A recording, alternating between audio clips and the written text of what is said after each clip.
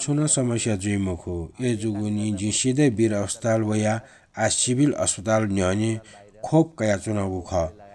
खोप कया बले छुन प्रकार यु थाको ठे मोचो। ए जुगुनी ठो खना सुन ग्याम ठो कोभिड महामारी विश्वभरि फैले जुगु ख। ठुके यो लिपा ठ्याङ्क लङ्के त खोप बालाको माध्यम ख। अके हे जे डको सिन ठुके त हे कहेमा ठुकेको साइड इफेक्ट सु सु मनु ते त जुइफै त काला अनुमान यागुदु ऐसा आटाको अनुभव से बले बामलाको साइड इफेक्ट यु ख आटाको गणन मने नानी।